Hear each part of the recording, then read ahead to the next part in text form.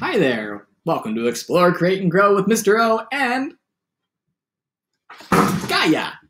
Today, we're going to read The Three Little Wolves and the Big Bad Pig by Eugene Trivizas, illustrated by Helen Oxenbury. Tato también quiere salir. Once upon, revés. once upon a time, there were three cuddly little wolves with soft fur, Hematail, and fluffy tails who lived with their mother.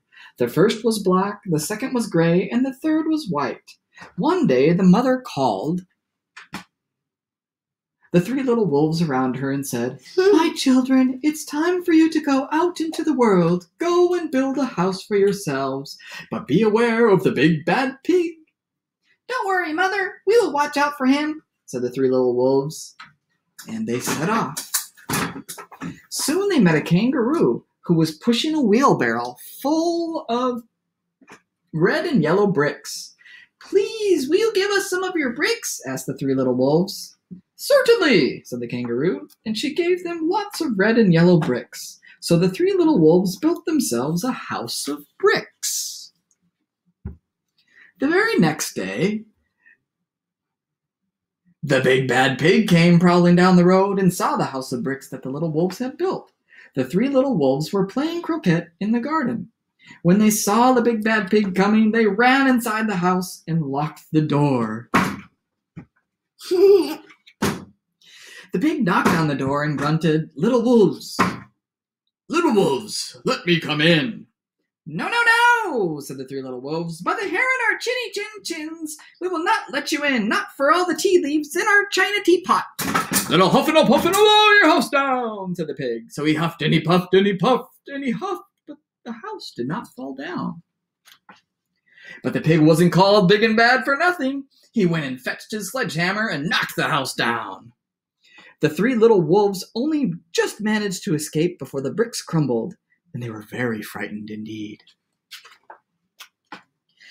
We shall have to build a stronger house, they said. Just then they saw a beaver who was mixing concrete in a concrete mixer. Please, will you give us some of your concrete? asked the three little wolves.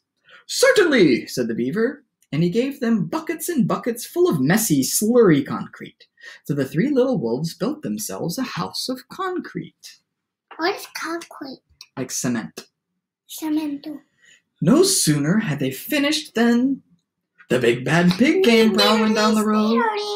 Mm-hmm. The, the, the big bad pig came prowling down the road and saw the house of concrete that the little wolves had built. They were playing battledore and shuttlecock in the garden, and when they saw the big bad pig coming, they ran inside their house and shut the door. The pig rang the bell and said, Yes. Little frightened pig, little frightened wolves, let me come in. No, no, no, said the three little wolves. By the hair on our chinny chin chins, we will not let you in, not for all the tea leaves in our china teapot. Then I'll huff and I'll puff and I'll blow your house down, said the pig. So he huffed and he puffed and he puffed and he huffed. But the house did not fall down. But the pig wasn't called big and bad for nothing. He went and fetched his pneumatic drill and smashed the house down. The three little wolves managed to escape, but their chinny chin chins were trembling and trembling and trembling. We shall build an even stronger house, they said, because they were very determined. Just then they saw a truck coming along the road carrying barbed wires, iron bars, armored plates, and heavy metal padlocks. Please, will you give us some of your barbed wire, a flute, iron bars, and armor plates, and and heavy metal padlocks? He also, Mateo, don't do that. That's not nice. Please do not do that. He also gave them some. Whoop, call. Whoop. All right, and we're back. So they went back and they saw a guy, a rhino, that was giving out supplies. They were asking for some iron bars, armored plates, and some heavy metal padlocks. Sure, said the rhinoceros, and he gave them plenty of barbed wire, iron bars, armored plates, and heavy metal padlocks.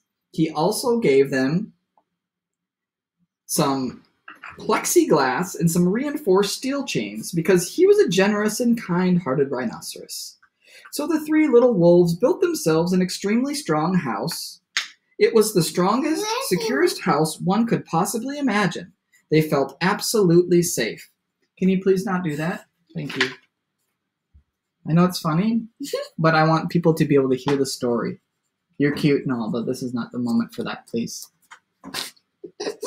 The next day, the big bad pig came prowling along the road as usual.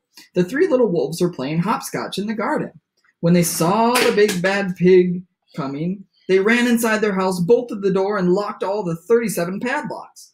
The pig dialed the video entrance phone and said, Little frightened wolves with the trembling chins, let me come in. No, no, no, said the little wolves. By the hair on our chinny chin chins, we will not let you in. Not for all the tea leaves in our china teapot.